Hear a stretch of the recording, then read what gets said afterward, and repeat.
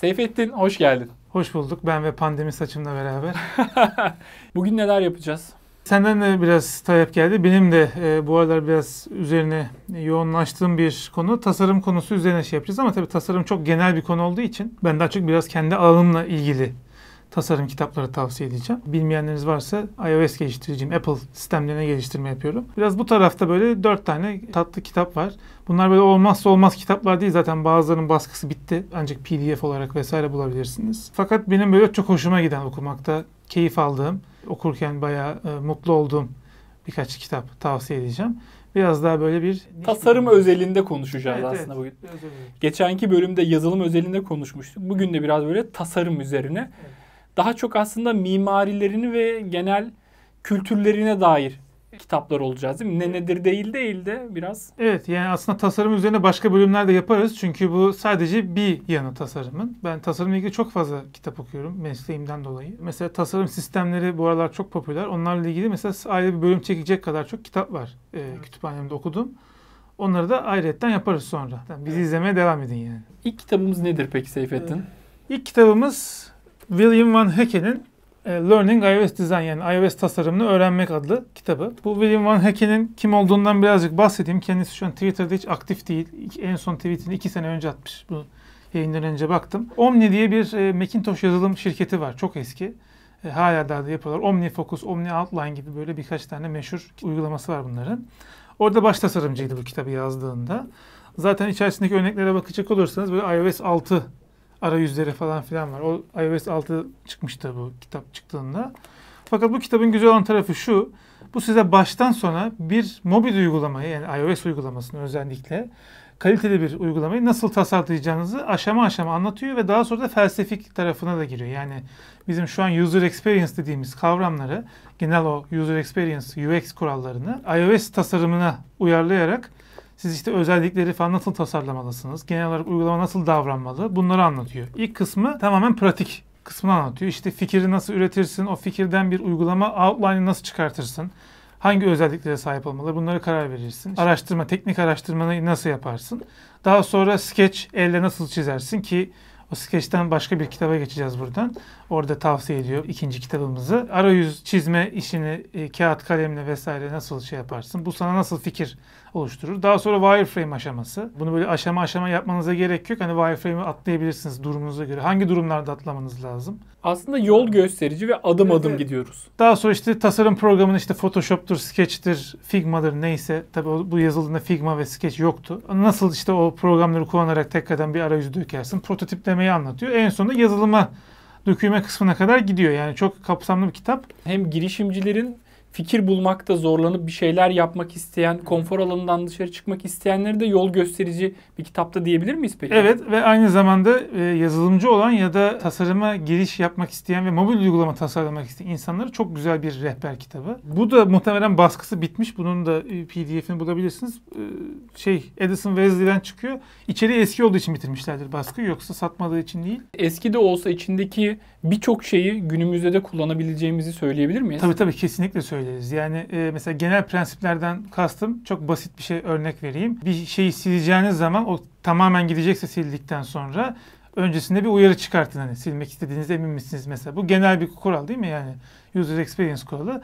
Eski diye aslında almamazlık yapmayalım. Yani zaten iOS şeyinde yani buton falan bahsederken e, şimdiki butonları kullanırsın yani. İle iOS 6'daki Ya gibi sadece aslında değil. görünümü ve şekilleri değişiyor ama yani genel felsefesi, mantığı ve kullanıcı deneyimi her zaman aynı kalıyor. Aynen bu aslında iyi bir eğitim kitabı öyle diyebiliriz. İkinci kitabımız bu kitapta da tavsiye ediyor. Bill Buxton'ın Sketching User Experiences'ın workbook'u. Bunun iki tane kitabı var. Yani bu workbook alıştırma kitabı.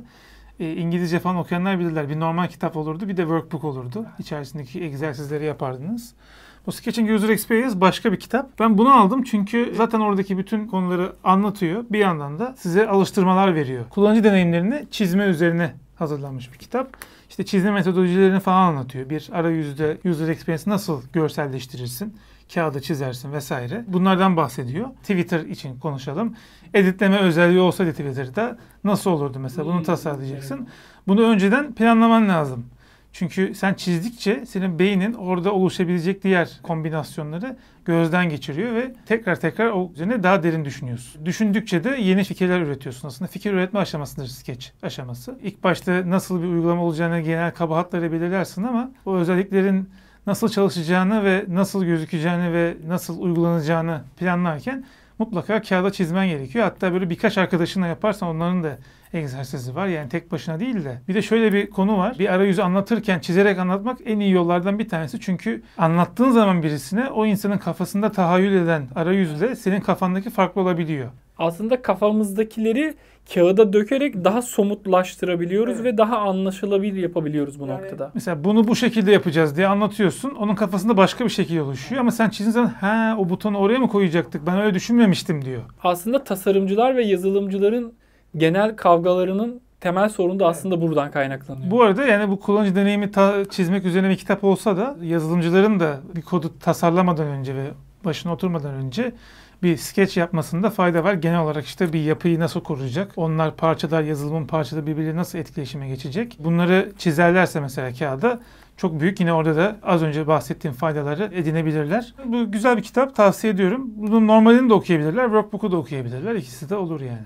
Peki bir sonraki kitabımız nedir? Bir sonraki kitabımızda benim kalbimde özel yeri olan bir kitap. E, Macintosh arayüz rehberi. Apple'ın yani yazar Apple Computer. Çok eski bir kitap. Evet çok eski bir kitap 92 basım olması lazım. Bunun modern halini internette ücretsiz olarak bulabilirsiniz. Modern hali bunun daha basitleştirilmiş hali tabii ki ama bir de modern arayüzlere uygun hali.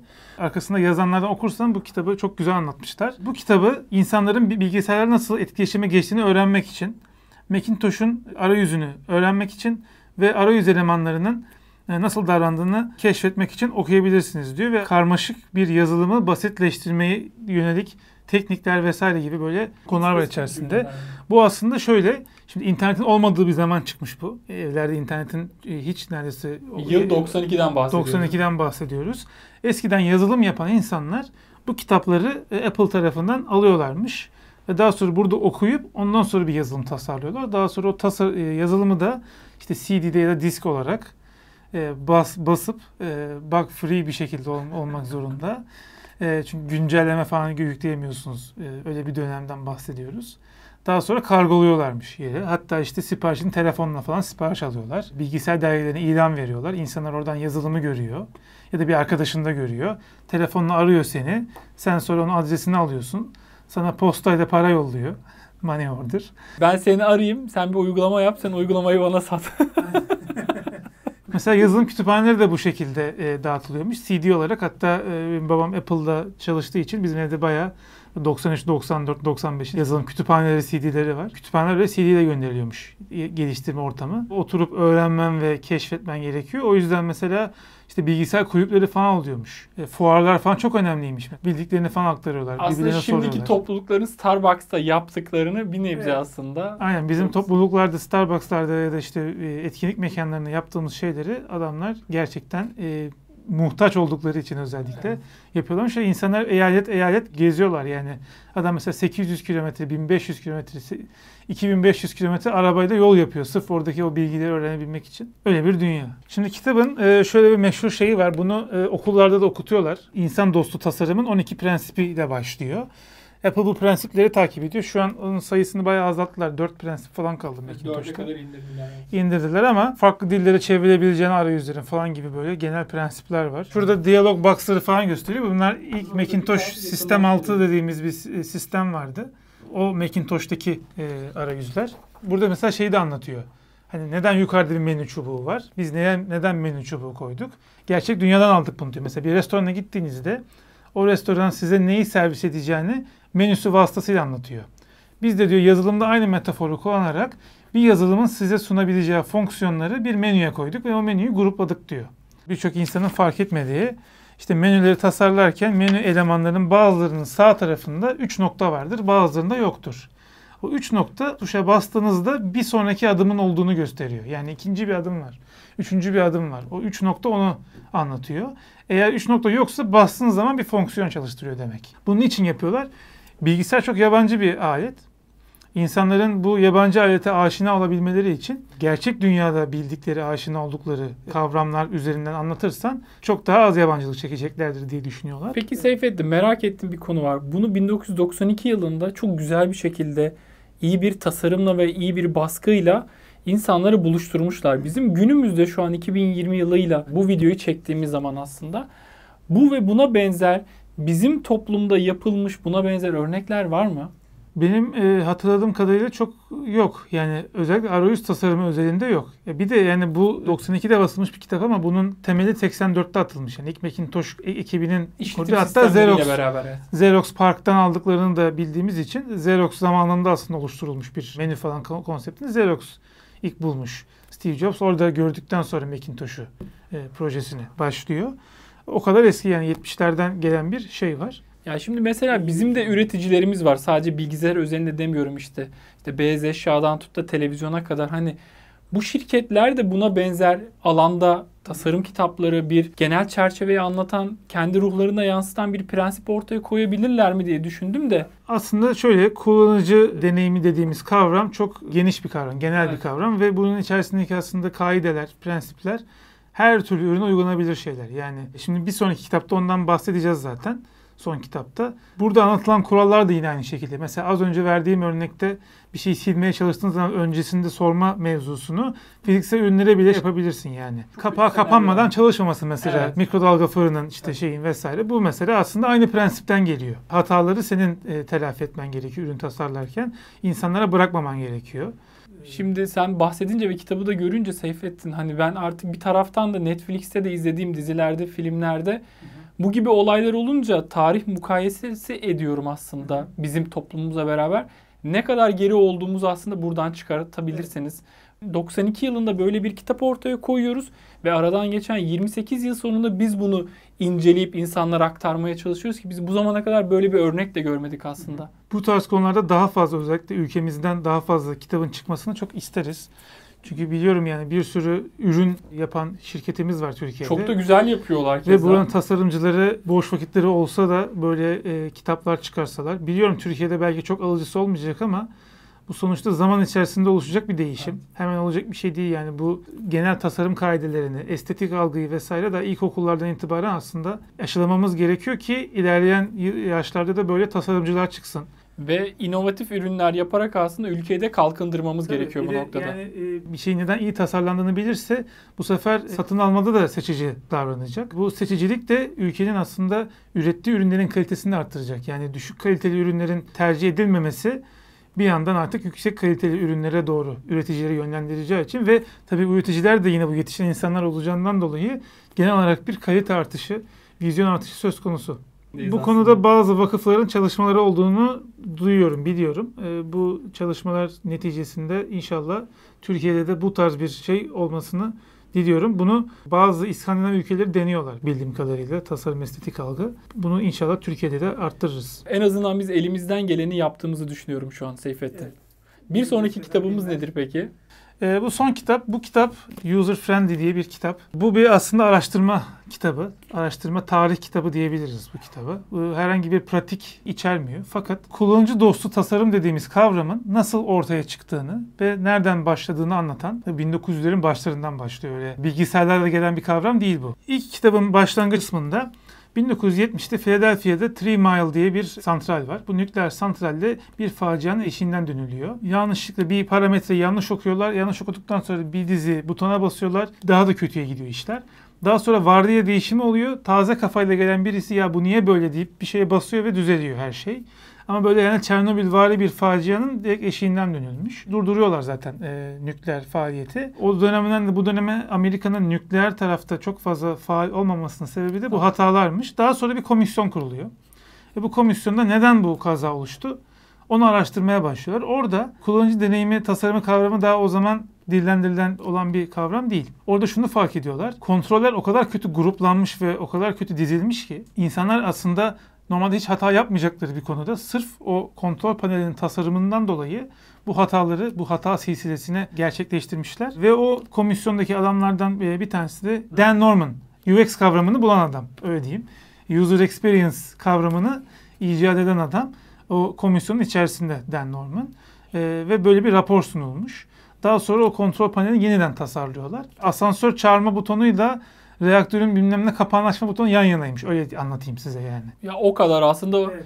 birbirinden bağımsız, alakasız şeyler iç içe olunca yani günün sonunda biz insanların hayatlarına zorlaştıracak ve uzun zaman boyunca geçmeyecek hatalara da sebebiyet verebiliyor ki ufak bir tasarım hatası. Bu kitapta böyle bir hikaye daha var. Ee, İkinci Dünya Savaşı'nda Amerika'nın uçakları çok fazla düşüyor. İkinci Dünya Savaşı başladığında çok fazla kaza oluyor, çok fazla pilot ölüyor. Daha sonra yine bir e, komisyon şey yapıyorlar. Diyorlar ki ya pilotları eğitelim biz. Bu pilot hatası. Daha yetenekli pilotlar geliştirelim. Özel bir program açıklıyorlar. Pilotların işte e, sinirsel durumlarını falan böyle ölçen bir testler vesaire yapıyorlar ki uçakları çakmasın. Daha sonra bir tane adam var diyor ki ya ben de şu uçakları bir inceleyeyim bir pilotlarla bir konuşayım. İşte bu kullanıcıyla konuşma onları e, sorma mevzuları da o zamanlarda çıkıyor. Sonra pilotlarla konuşunca diyor ki ya işte sen nasıl kullanıyorsun uçağı bana bir göster. Sonra bakıyor ki işte pilotlar şeyleri çok karıştırıyorlar fonksiyonları. Yani uçağın burnunu aşağı indiren butonla çok normal bir operasyon yapan buton aynı şekilde aynı e, formda listelenmiş ve pilot mesela o anda bir dalgınlıkla başka bir tanesini açabiliyor ve bundan dolayı oluyor birçok kaza. Aslında iki buton birbirine çok benziyor ve o anlıkta refleks göstermesi için de pilotun onu açıyor ve o direkt indiriyor burnunu aşağıya. Bu adamın adı Fitz e, ve Fitz kanunu vardır e, kullanıcı deneyim tasarımında. Daha sonra farklı iş yapan objelerin şekillerini ve renklerini farklılaştırıyorlar. Yani bir e, buton yuvarlak ve kırmızıyken başka bir tanesi kare ve yeşil oluyor.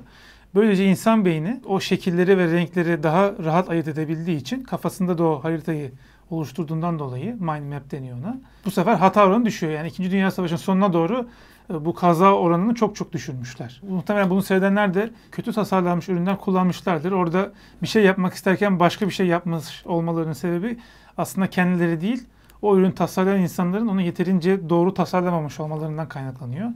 Yani sorun siz değilsiniz, sorun tasarımcılar. Yani kitaplar bitti. Sizin de varsa böyle e, kullanıcı deneyimiyle ilgili yaşadığınız bazı sıkıntılar ya da okuduğunuz, çok beğendiğiniz böyle bu tarz daha genel kavramları anlatan kitaplar olabilir. iOS özelinde olabilir. Bunları bize yazarsanız yorum olarak biz de onları değerlendiririz. İlerleyen videolarda da onları incelemeye alırız. Önceki videolarda da güzel kitap tavsiyeleri geldi. Onları da ilerleyen videolarda mutlaka ele alıyor olacağız. Bütün yorumları okuyoruz. Bakıyoruz, inceliyoruz, not alıyoruz, ciddiye alıyoruz açıkçası. Bizim en büyük neyimiz? Hobimiz aslında bu. Evet, yorumların hepsini okuyoruz. Benim burada söylemek istediğim son bir şey var. Kullanıcı deneyimi, tasarımı sadece tasarımcıların bilmesi gereken bir şey değil. Yani az önce aslında eğitimde anlatırken de bundan bahsettik. Mutlaka ve mutlaka e, ilgi duyun. E, bu konuları okuyun, okumaya çalışın. Türkçe kaynak da ben bunlarla ilgili toplamaya, derlemeye, toplamaya çalışacağım. Her şey tasarım diye bir kitabı vardı Sherpa'nın. Orada mesela biraz bu konuları anlatıyor ama daha genel konseptlerle anlatabileceği böyle e, user friendly gibi bir kitap olursa ya da bunu bir yayın evi çevirirse belki bizi seyreden yayın evleri de vardır. Onlar da çevirirlerse mesela onların çok büyük faydası olur. Bu iş nasıl geldi, nereden geldi? Sizi çok bilinçlendirecek hem bir tüketici olarak hem bir insan olarak. Etrafınızdaki objelere, etrafınızdaki şehire, sisteme, dünyaya bakışınızı bayağı değiştirecek bir bilgi bu. O yüzden ben hemen hemen seyreden herkese tasarımla alakaları olmasa bile bu konuyu araştırmalarını ve öğrenmelerini tavsiye ederim. Teşekkür ederim Seyfettin. Yine çok feyizli ve keyifli bir sohbetti. Ben teşekkür ederim. Bir sonraki videomuzda neyi konuşacağız peki? Bir kafanda bir şey canlandırdın mı? Yani bir sonraki videoda şu an ne yapacağımıza pek karar vermedik. Ama tasarım ve yazılımı yaptık. Başka bir şeyler yapabiliriz. Bu konuda bize de yönlendirme yapabilirsiniz. Yorumlarda yazabilirsiniz. Hani bir sonraki bölüm şunun üzerine olsun diye. Ben de elimden geldiğince okuduğum ya da işte kütüphanemde olan kitaplardan bir derleme yapıp o videoya hazırlanırım. Gerekirse okuruz. Okuruz da tabii canım. Seviyoruz çünkü okumayı. Evet seviyoruz. En büyük hobimiz. Evet. Görüşürüz o zaman Seyfettin. Ee, görüşürüz. Bizi izlediğiniz için teşekkür ederiz. Bir sonraki videoda görüşmek üzere diyelim. Hoşçakalın.